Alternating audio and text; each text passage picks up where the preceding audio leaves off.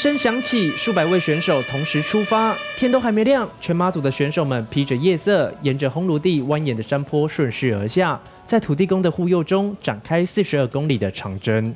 那我们越办，大家越来越踊跃。那从一开始的三四千人，到现在的将近六千人的报名哈。那我相信我们我们飞龙杯红炉地马拉松的名气也越来越好。那我一直秉持着一定要。呃，办理好的品质、好的赛事，所以我每年都有赞助，都有呃赞助我们的马拉松比赛。然后目的是为了让跑者在我们杭楼 day 这边跑马拉松的时候跑得相当的舒服，相当的开心。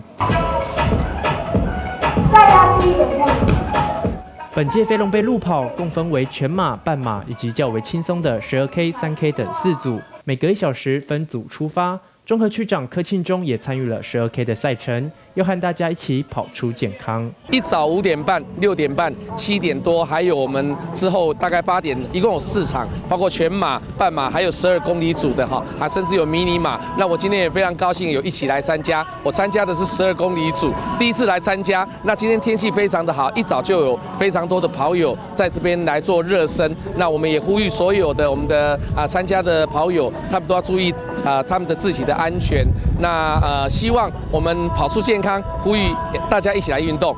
路跑逐渐成为新兴的国民运动，在悠闲的周末假期中，不妨穿上运动鞋，来场舒适的跑步之旅，一同挥洒热血的汗水。